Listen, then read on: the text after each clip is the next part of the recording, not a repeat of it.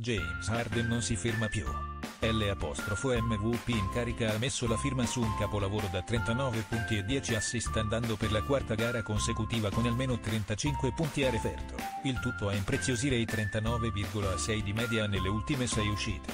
Un periodo stellare, che permette ai suoi Rockets 17 e 15 di rimettersi in marcia dopo il disastro di due giorni fa a Miami quando la sconfitta e l'infortunio di Paul ai box per un problema al bicipite femorale sinistro hanno rischiato di mandare all'aria i piani di rilancio verso la testa della classifica a ovest.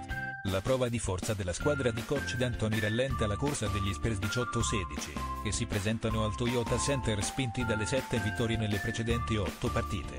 Ma gli Speroni, questa volta, sono belli solo a metà dopo un primo tempo difensivamente impeccabile, con Houston tenuta ad appena 41 punti totali. San Antonio nella ripresa viene maltrattata dal dominio di Clint Capella 21 più 23 rimbalzi, season high in area e dalle ripetute triple 19 di cui 9 nel terzo quarto scoccate da Harden, Eric Gordon e Gerald Green. Punto inutili i 28 punti di Demar De Rosa, protagonista dell'ultimo tentativo di rimonta degli Spurs. Serata da dimenticare per Marco Bellinelli solo 3 punti in 21 apostrofo punto la partita. Nel quintetto dei Rocket c'è Daniel House Jr., chiamato a sostituire Chris Paul. I primi a mettere il naso avanti sono gli Spurs che affilano gli artigli in difesa nel secondo periodo costringendo gli avversari a rimanere a secco di canestri per più di 5 apostrofo. Il layup di Harden dà ossigeno a Houston che, però, fatica a sbloccarsi e arriva all'intervallo con soli 13 punti realizzati nella frazione la peggiore della loro stagione, ma sotto solo di 2 punti 43-41. Il poco cinismo dei primi 24 apostrofo mette San Antonio nei guai al rientro sul parquet. I padroni di casa cambiano marcia il break di 12-0 vale la doppia cifra di vantaggio, mentre le triple di Gerald Green e Gary Clark mettono il sigillo per l'84-69 in avvio di quarto periodo.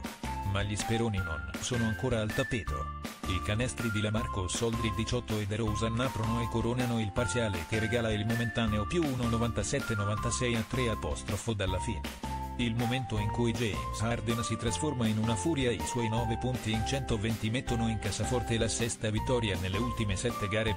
San Antonio Bellinelli 3-0 mezzi da 2, un quarto da 3, 3 rimbalzi e una persa in 21 apostrofo. De Rosan 28-12 fratto 24, 4 quinti TL, Oldri 18, Gay 13. Rimbalzi Gay 8.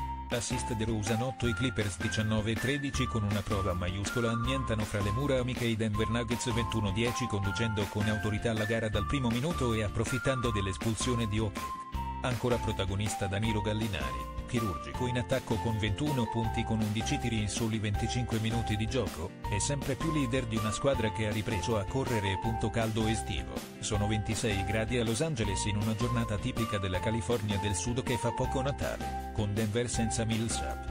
Harris e Barton in visita ai Clippers con Bamutei finalmente vicino al rientro. Punto l'inizio degli uomini di Rivers è perfetto con Harris 13 e Gallinari 9 scatenati in attacco che colpiscono la difesa Denver da fuori e in penetrazione segnando il primo quarto 34-26 ed imponendo alla gara un ritmo alto come richiesto dal coaching staff nel prepartita. La forza dei Clips è la second unit per numeri e impatto la migliore in NBA, e con il rientro di Lou Williams e l'aggressività di Wallace e Harrelly il primo strappo è logica conseguenza 45-35 a 8 apostrofo 15 dalla pausa.